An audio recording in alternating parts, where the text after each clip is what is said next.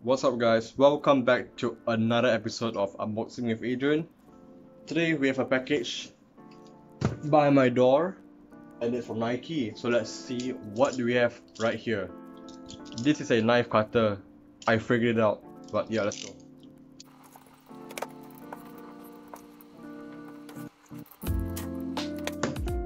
So guys, this is the Nike Dunk Low medium gray. So right here we have a US 8.5 slash UK 7.5 variant. This is the Nike Low Retro medium gray shoe.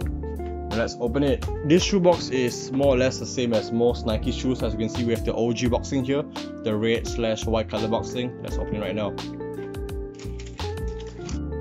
So as we can see right here, this shoe is made up of three main colors, red, grey and white. As you can see, the outsole right here is fully red in color.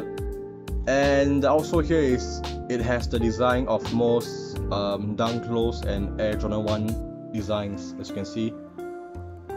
And the midsole is white in color. And for the quarter part is mainly in grey color.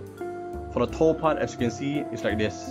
The toe part is like from here, up here, and here as well and for the eye stay is straight in color this is the eye stay section. And this time we have a red shoelaces. I don't think this shoe comes with extra shoelaces but yeah the tongue is grayish color but on the other side it's red in color actually. So as you can see over here yeah it's red in color actually. The back tab is red color and it has a Nike it's I think this is silverish or grayish I'm not really sure. The material of this shoe feels very very slippery I would say.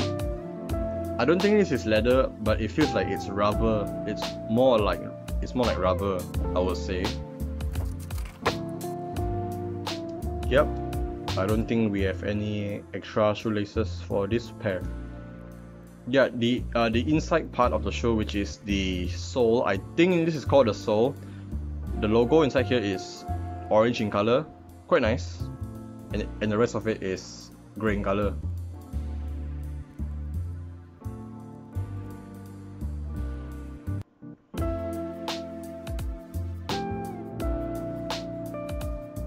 So what I think about this shoe is that this shoe is actually quite simple and it's not really that special the retail for this shoe is going for 425 ringgit including shipping from Nike.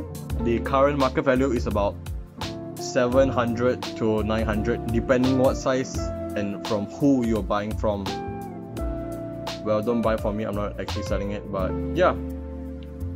So guys, that's it for the video. This is the Nike Dunk Low medium gray and I guess that's it. Don't go anywhere. Another episode is coming out really soon. It's on shoes once again. And I'll see you guys in the next episode.